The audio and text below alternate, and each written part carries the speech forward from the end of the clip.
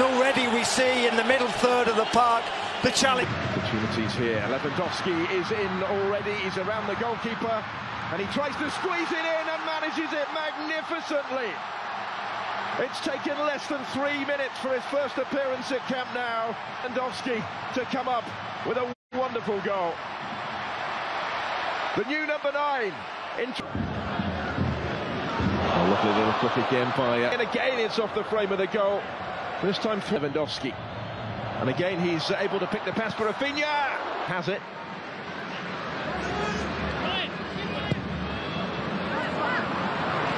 Fati ahead of him and uh, Lewandowski. This is Kessie, and it's turned in. Facing Mexican opposition for the first time since then. Lewandowski is in on goal here. Ansu Fati, who threaded it through to him. The initial effort is saved, and the second effort.